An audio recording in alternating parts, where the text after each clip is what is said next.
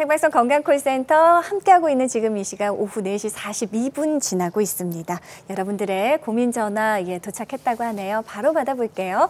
여보세요. 여보세요? 네, 안녕하세요. 네, 안녕하십니까? 예. 어, 굉장히 목소리가 젊게 느껴지는데 올해 나이가 어떻게 되셨습니까? 네, 67세입니다. 67세. 예, 어머니 네. 어디가 어떻게 불편하신지 김상우 원장님 나와 계시니까요. 직접 한번 말씀 나눠 보시죠. 예, 안녕하십니까? 안녕하세요. 다름이 아니고요. 네, 제가 어, 정형외과에서 관절염 3기 진단을 받았습니다. 네.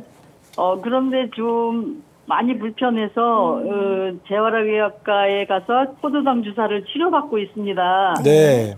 근데 이제 이런 충격파나 주사 치료로도 무릎 연골이 재생될 수 있는지 궁금합니다. 네. 네, 전화 잘 주셨습니다. 네. 야, 제가 몇 가지 확인할 게 있는데요. 네네. 연세가 67세고 진단받으신 건 관절염 3기 정도 되신다고 진단을 받으셨어요. 네네. 양쪽 무릎이 다 그러신가요? 어, 다 그런데 조금 왼쪽이 더 불편합니다. 네, 왼쪽이 더 불편하시고 아. 네, 오른쪽이 좀 덜 하시고요. 그죠? 예, 예. 걸음걸이는 혹시 정상적으로 걸으실 수 있나요? 아니면 좀 약간 뒤뚱거리시나요? 아우, 뒤뚱거린 지가 오래됐습니다. 그렇죠. 네, 제가 이걸 여쭤본 이유가요. 네. 먼저 결론부터 말씀드리면 증식 주사 치료나 체외 충격파 치료 이런 것들이 연골을 재생을 시켜주는 거는 한계가 있어요. 예. 한계가 있는데 환자분이 지금 이제 해결해야 될 거는 그래도 어느 정도 치료 효과를 보려면 일단은 걸음걸이가 좋아야 됩니다. 아, 그래요? 한쪽 무릎이 만약에 퇴행성 변화가 많이 진행되어 있다 그러면 네. 퇴행성 변화가 많이 진행된 무릎이 아무리 좋아져도 걸음걸이가 좋지 않으면 반대쪽이 또 망가지게 되거든요. 아, 아, 예. 네, 그렇기 때문에 양쪽 무릎이 동일한 조건에서 치료를 받으시는 게 굉장히 중요해요. 음, 아, 그렇군요. 그래서 만약에 증상이 심하지 않은 오른쪽 다리가 만약에 더 휘어 있다 그러면 그거를 해결하지 않으면 왼쪽은 계속 나빠질 수밖에 없는 거거든요. 그래요. 아, 그렇기 때문에 그렇습니까? 네, 단순히 어, 체- 증식 주사 치료나 충격파 치료가 연골이 연골을 재생시킬 수 있느냐에 관심을 가지지 마시고 네. 전반적으로 무릎 관절 상태가 어떠신지 그리고 내가 일상생활하는데 양쪽 무릎이 50대 50으로 힘을 받을 수 있는 상태인지를 먼저 확인하시는 게 중요하겠고요. 네. 네, 이런 것들은 간단히 엑스레이를 검사 찍는 방법에 따라서 정확히 저희가 알 수 있는 방법들이 있기 때문에 네. 네, 한 군데서 계속 치료받으시지 마시고 네. 관절을 전문적으로 보는 전문 병원이나 아니면 대형 병원에서 진료를 정확히 받아보시고 내 무릎 상태가 양쪽이 지금 어떤 상태인지 정확히 판단을 해보시고 나서 아, 연골을 증식시킬 수 있는지 재생될 수 있는지를 판단하시는 게 좋을 것 같아요. 네. 예. 아유, 예, 오늘 감사합니다. 예, 어머니 도움이 좀 되셨어요.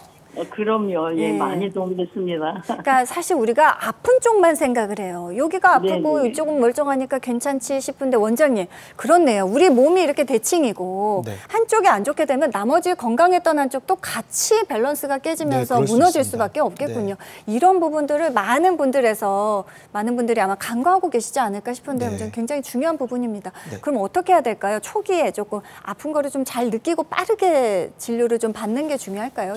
만약에 네. 이렇게 한쪽이 더 심하신 분들한테 최선의 솔루션은 어떤 것일까요? 보통은 통증이 마, 통증을 많이 호소하시는 부- 그 쪽이 이 왼, 이분은 이 환자 같은 경우는 왼쪽이 되겠는데 음. 네네. 왼쪽이 더 많이 망가져 있는 경우가 대부분입니다. 그런데 관절염을 오래 앓고 계신 분들은 관절이 많이 망가졌어도 통증을 많이 호소하시지 않는 경우도 있거든요. 그래요. 그래서 예. 제가 진료실에서 보다 보면 엑스레이는 오른쪽이 더 많이 망가져 있는데 환자가 아프다는 건 왼쪽이 더 심하시다 이렇게 맞아요, 얘기하셔서 맞아요. 예. 치료를 결정할 때 어머니 오른쪽을 치료하셔야 돼요 얘기하시면 나는 오른쪽은 괜찮은데 왜 오른쪽을 치료하시냐 그렇죠. 그 이거를 설명드리는데 굉장히 애가 많아, 애를 많이 쓰는데. 예. 전화 주신 환자분도 마찬가지로 양쪽 무릎이 똑같이 음. 일을 할 수 있도록 만들어 주는 게 중요하니까요 꼭 진료 보시고 더 많이 망가진 쪽을 먼저 해결을 해야 음. 덜 망가진 쪽이 부담이 덜할 수 있다는 거를 꼭 알아주셨으면 좋겠습니다. 네. 감사합니다. 네, 네, 어머니 오늘 감사합니다. 전화 주셔서 고맙습니다. 자, 단순 통증의 유무 또 강도만으로는요, 무릎의 손상 정도를 파악하기 힘듭니다. 원장님 말씀하신 대로 어, 통증이 심하지 않아도 훨씬 더 많이 손상된 경우도 있기 때문에요. 정밀 진단 가장 먼저 우선이라는 부분 예, 기억하셨으면 좋겠습니다. 자, 다음 고민 상담 전화 받아볼게요. 여보세요? 여보세요? 예, 안녕하세요. 예, 안녕하세요. 예, 어머니 올해 나이가 어떻게 되셨습니까? 예, 올해 65입니다. 65 아직 예. 한창 활동하셔야 되는데 네, 어떻게 64살이죠. 어떻게 불편하신지 김상우 원장님께 직접 한번 설명해 주세요. 네. 네, 어머니 안녕하세요. 예, 반갑습니다. 네, 안녕하세요. 예, 무릎이 많이 불편하세요? 네, 선생님, 저는 네. 그 몸이 전체적으로 지금 난국이 왔어요. 손도 아프고, 무릎도 아프고, 허리도 아픕니다. 네. 아픈데 무릎은, 무릎 안쪽이, 네. 무릎 안, 양쪽 무릎 안쪽이 한 번씩 이렇게 있고, 바늘가 쑤시는 것처럼 네. 음, 통증이 오고 있거든요. 네. 그래서 이 동네 병원에서 네. 연골 그 주사라 그래서 뭐 연에서 음. 추, 연어에서 추출한 그 성분이라 그래서 주사를 맞고 있습니다. 네, 네. 그리고 이제 이 아프니까 걷는 운동도 하기가 조금 힘이 들고 그래서 음, 다니던 병원에서 쓰다가 안 되면 인공 관절을 해야 된다고 해서 네. 네. 깜짝 놀랬고 또 음. 내가 아직 나이가 있기 때문에 네, 그렇죠. 이걸 어떻게 하지 하고 고민을 음. 하고 있는데 어딘가 아닌가 보니까 선생님께서 네. 줄기 세포에 대해서 이야기를 하시는 것 같고 그래서 제가 얼른 거기 귀에 들어왔어요. 네.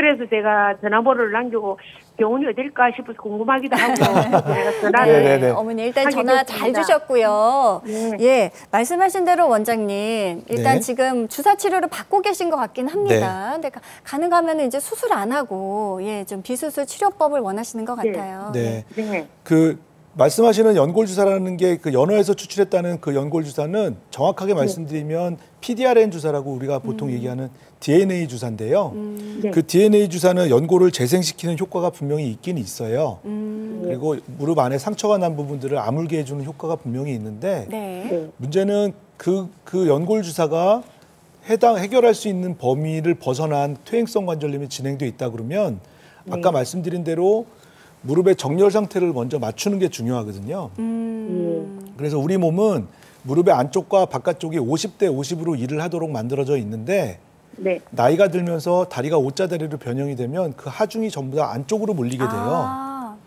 그러면 무릎 안쪽이 통증이 생기. 그렇죠. 네. 그래서 관절염이 생기면 보통 분들이 O자다리가 네. 된다고 얘기하시는 게 그래서 그런 거거든요.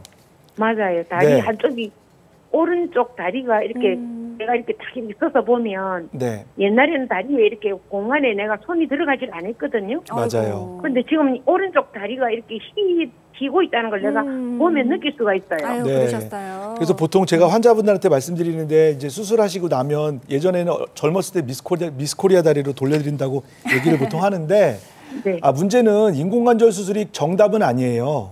음, 네. 인공관절 수술이 정답은 아닌데요. 인공관절의 수술 말고도 다른 방법들이 분명히 있거든요. 음, 예. 그래서 퇴행성 변화가 진행되고 무릎의 하중을 원래대로 돌려놓는다 그러면 망가진 네. 연골을 줄기세포 치료로 재생을 시- 시킬 수 있는 방법도 분명히 있습니다. 음. 어, 그런데 그거는 줄기세포 치료 하나만 가지고 결정하는 게 아니라요. 네.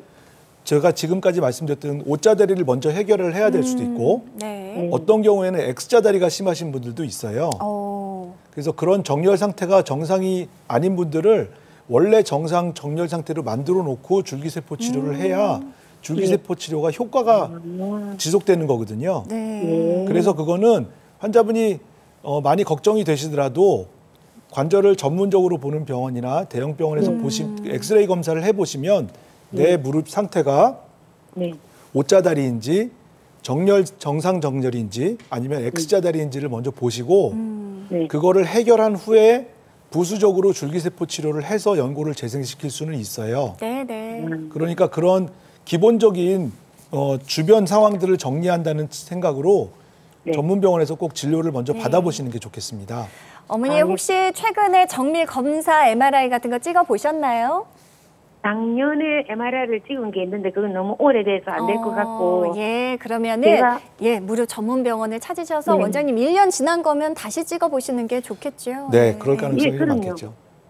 자, 일단 그럼 전문 병원 네. 찾으셔서 정밀 검사가 네. 첫 번째 우선이고요. 아, 원장님 네. 말씀하신 대로 치료 예후가 잘 좋기 위해서는 정밀 네. 검진이 우선이고 그다음에 줄기세포 이식술이나 관련 치료는 저희가 잠시 후에 계속해서 자세하게 다룰 예정입니다. 방송 끝날 때까지 꼭 잘 시청해 주시면 좋겠습니다. 전화 주셔서 고맙습니다.